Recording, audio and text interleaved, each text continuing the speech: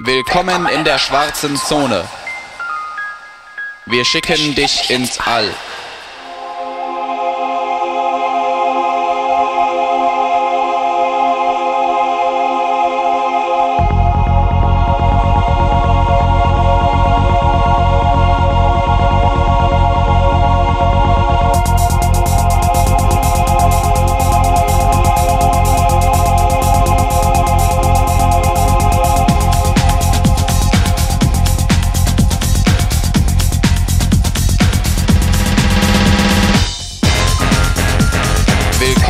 Der schwarzen Zone. Wir schicken dich ins All. Willkommen in der schwarzen Zone. Wir schicken dich ins All. Im Jahre 2598 nach Christus kam es zur wohl größten interplanetaren Kollision zweier Planeten. Die Wucht der Explosion erschütterte das gesamte Sonnensystem. Starke Energiefelder verursachten die Kernschmelze fast aller Reaktoren unserer Erde. Auf der nördlichen Hemisphäre entstand ein Gebiet, das Überlebende die schwarze Zone nannten. Menschliches Leben schien hier unmöglich. Willkommen in der schwarzen Zone. Wir schicken dich ins All. Willkommen in der schwarzen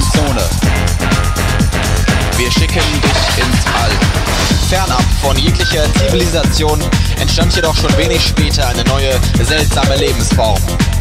Diese Lebewesen konnten sich so tarnen, dass kein menschliches Auge, kein Radar oder gar elektronische Messgeräte sie entdecken konnten. Was man allerdings registrierte, war eine unglaubliche Steigerung des magnetischen Feldes um das Gebiet. Außerdem konnte man sich nicht erklären, warum Satelliten und Raketentrümmer aus dem All immer wieder in das Zentrum der Zone stürzten. Willkommen in der schwarzen Zone. Wir schicken dich ins All. Willkommen in der schwarzen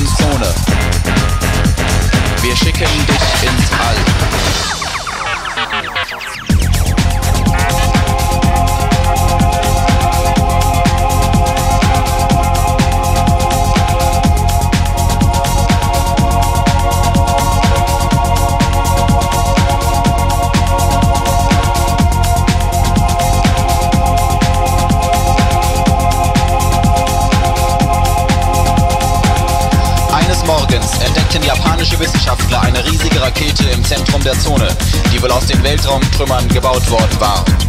Gleichzeitig beobachtete man, dass tausende Menschen aus den nicht kontaminierten Gebieten einem Sternmarsch gleich in die schwarze Zone liefen und offensichtlich in der riesigen Rakete verschwanden. Diese moderne Arche Noah startete am 6. August des Jahres 2645 und brachte wenigstens einen Teil der Menschheit ins Paradies.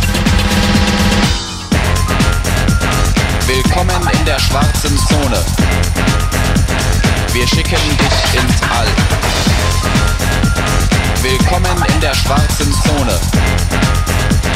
Wir schicken dich ins All.